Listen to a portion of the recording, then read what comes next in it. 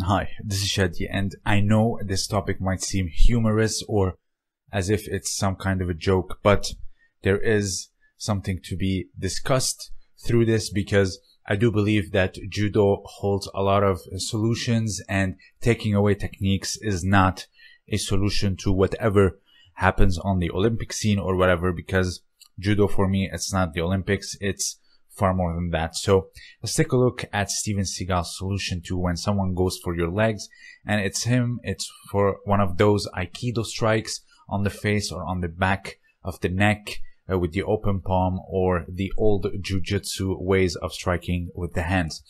So here we all know by now that morotegari or reaping with both hands is an old technique of judo. Now granted, it is illegal nowadays in competition, so it's rarely taught.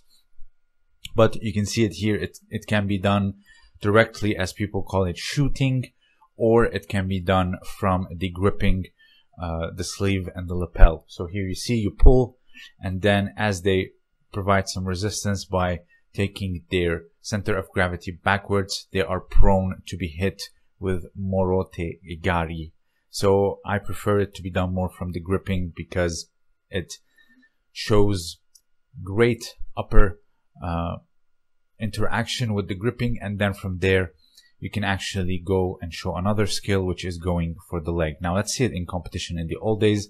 So here you see without any interaction, it's not a very graceful throw. I understand why a lot of people do not like it, but nonetheless, it's a very effective way of going into the ground. Hence why it is adopted in Brazilian Jiu-Jitsu. Here is the legendary Tani going for it from the grip fighting from there goes from for a single and then a double leg takedown, reaping both legs. Now, the solution to this is found in the Gokyo, and it is none other than Tawara Gaeshi.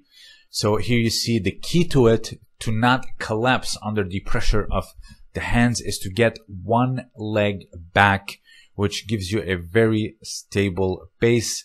And from there, you readjust your stance and then you sacrifice yourself backward arching your back, uh, hurling them over. It's a great way um, to counter this technique, and it is found within judo. So when it comes to shooting and people thinking that judokas are absolutely helpless against shooting, the answer is within the same book. Another one here is Haraigoshi. Haraigoshi has been done all throughout, and now I see a lot of foot sweeps and reaps and judo techniques uh, finding their way into wrestling while judo is taking techniques away for wrestling. And the more I study um, the judo history and techniques, the more the leg grab rule makes no sense uh, to me. The more I study, the more it makes, uh, the more absurd it seems to me. So this is a very small video. I wanted to show that the whole thing with shooting and leg grabs, it's all within the judo book and repertoire. So, uh, judo has solutions and counters for everything.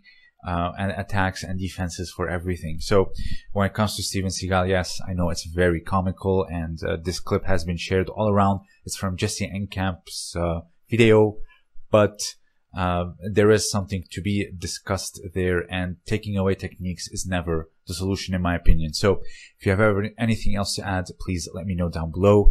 This was Chadi and thank you for listening.